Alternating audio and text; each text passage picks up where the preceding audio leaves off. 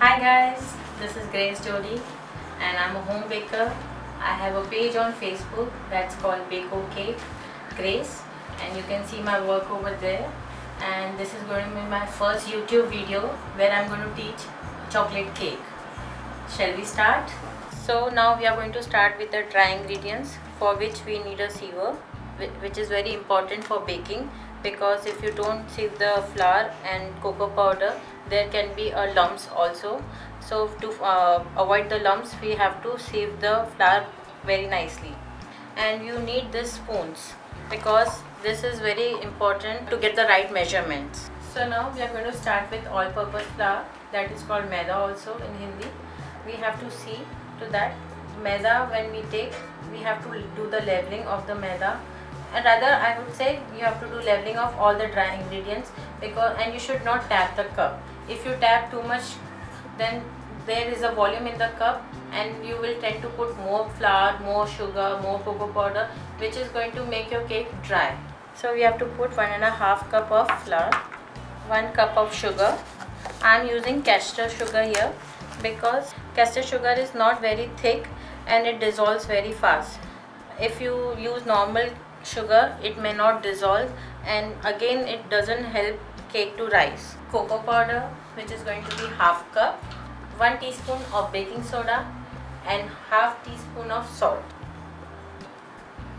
And we have to mix it nicely. This is very important process for the cake because all the ingredients should get mixed and cocoa powder should have no lumps which will make your cake rise more better तो हमारे dry ingredients सब ready हैं। अभी हमें wait ingredients पे खाना है। One cup of milk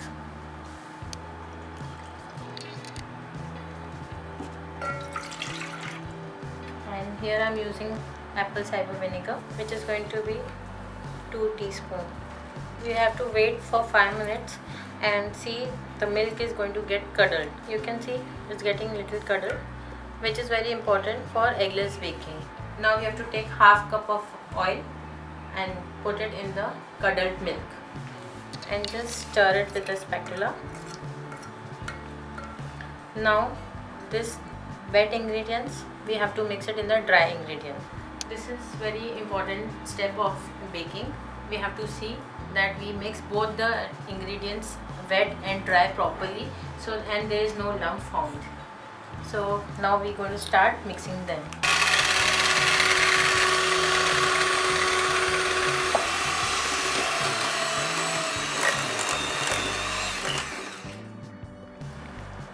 have to clean the sides of the pan and mix it together nicely. So our batter is ready. And to put it in the pan we need 7 inch pan.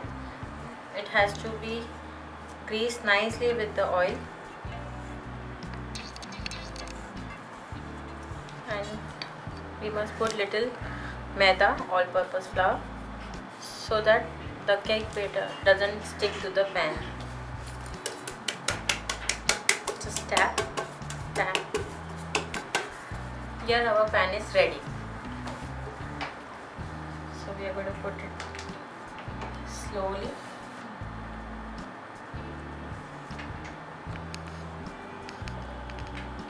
And just tap it like this so that there is no air formed while putting the batter in the pan.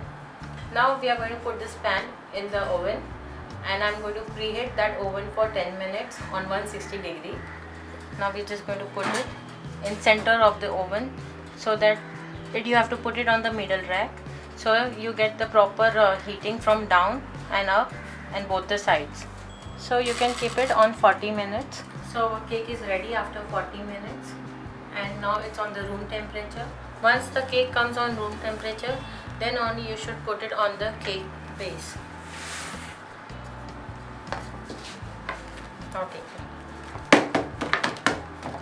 So we are removing the cake. Now we just need to turn it upside down again.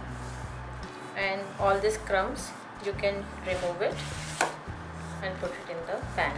So our chocolate cake is ready. Hope you like my method. If you like my video share it like it and subscribe to the channel. So in my next video, I am going to teach you how to ice the cake which will be basic icing. Uh, till then, goodbye, take care.